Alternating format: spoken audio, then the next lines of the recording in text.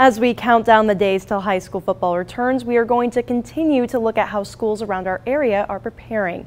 Up next on our Camp Frenzy tour, we're going to take a look at the Frankfort hot dogs.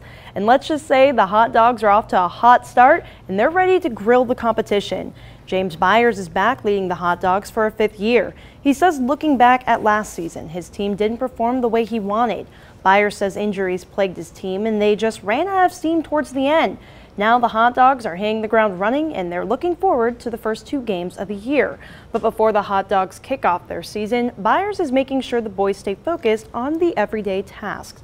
He tells Sports 18 this year his team is focused on the process and getting better after each and every play.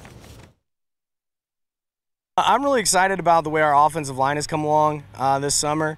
Um, we knew we'd have a, a pretty talented group of wide receivers and and a really talented quarterback coming back in Doug Wood. And I'm also really excited to see the way our defense has developed over the summer and and the, the way we've really become very aggressive and and so we're really excited to see those two units kind of continue this uh, uphill trend that they've had so far.